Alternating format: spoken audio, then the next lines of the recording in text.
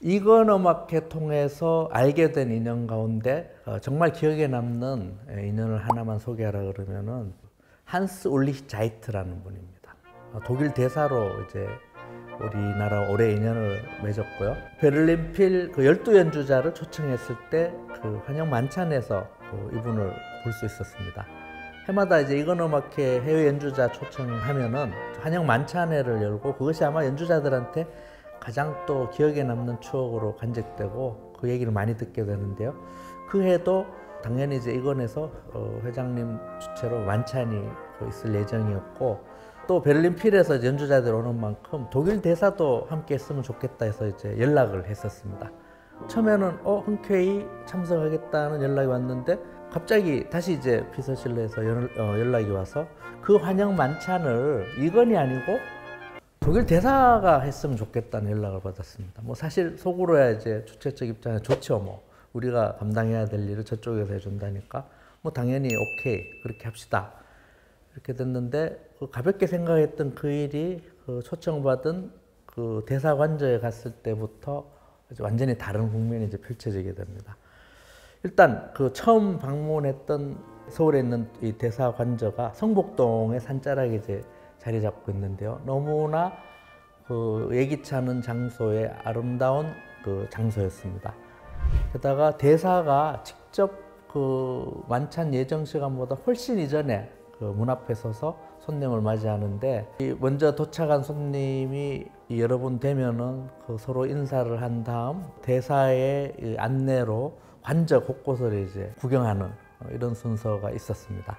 그 따라서 이제 구경하는데 일단 정원이 너무 아름다웠어요. 산 아래 풍경이 너무 잘 보이는 그 정원, 또 잘 손질된. 아, 그래서 뭔가 독일이라서 다르구나 하는 생각을 가졌는데 더 감동적이었던 거는 그 실내로 들어갔을 때 벽마다 이제 그림과 미술품이 있는데 20세기 이후 독일을 대표할 만한 작가들이고 특히 이제 막 그 경력을 시작한 젊은 작가들의 이제 그림이 많았습니다. 근데 그 하나하나 작품을 다 일일이 소개하고 하는데 그 작가 또 그 작품에 대해서 너무 해박한 지식. 근데 그것도 쉬운 말로 잘 설명을 해주는 걸 이제 경험을 하면서 야 대사한다는 게 이렇게 쉬운 일이 아니구나.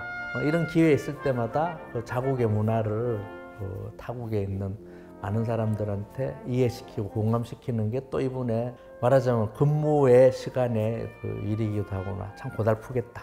이런 생각을 가졌는데 조금 눈살을 찌푸릴 만한 그 물건들이 눈에 보였습니다. 풀지 않은 짐꾸러미 같은 것들이 곳곳에 이렇게 쌓여 있었습니다.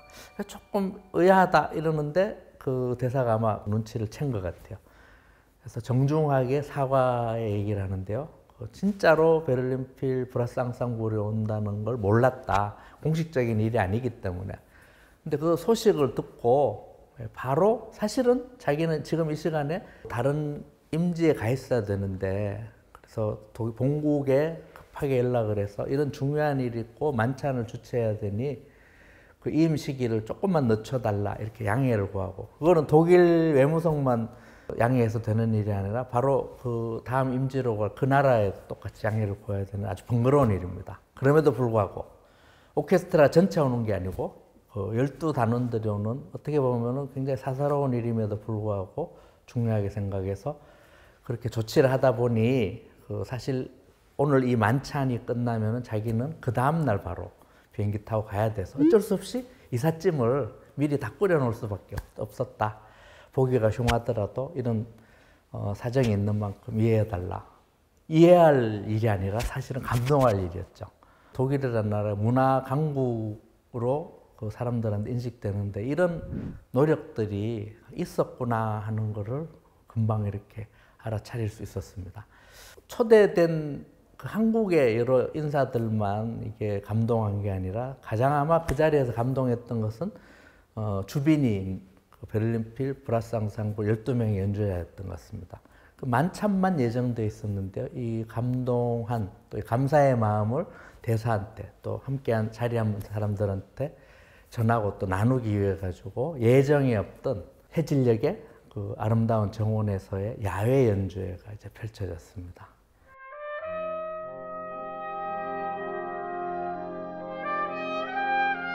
초청된 인근의 이제 각 대사들과 각계 인사들과 또 저와 더불어서 함께 그 행사를 준비했던 이건 직원 여러분들도 아마 잊지 못할 연주회, 오히려 본 연주회보다 더 아름답고 더 감동적인 연주회가 아니었나 싶습니다.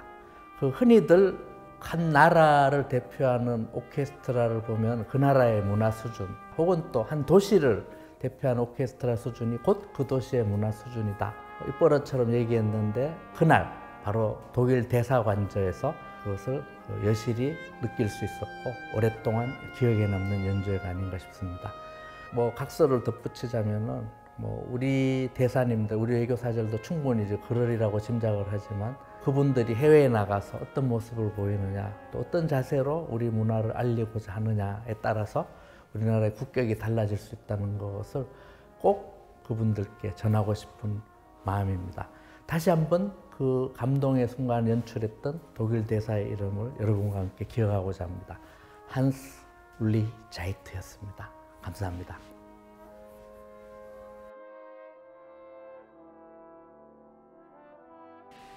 Annyeonghaseyo.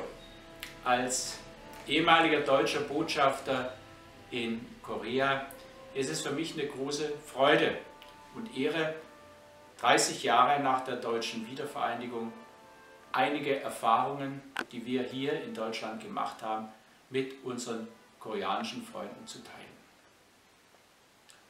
30 Jahre sind eine lange Zeit, aber sie sind schnell vergangen und wir konnten in diesem Zeitraum einige wesentliche Erfahrungen machen. Die wichtigste Erfahrung ist für mich, dass wir Geduld brauchen, auch in der Politik, in der Gesellschaftspolitik. Fahren Sie auch nach Magdeburg und in den Harz und schauen Sie sich an, was dort in den vergangenen 30 Jahren geschehen ist.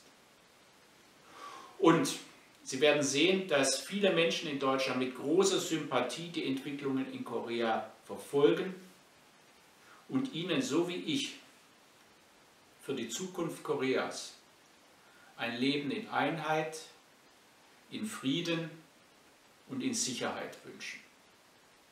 Alles Gute für Ihr Heimatland.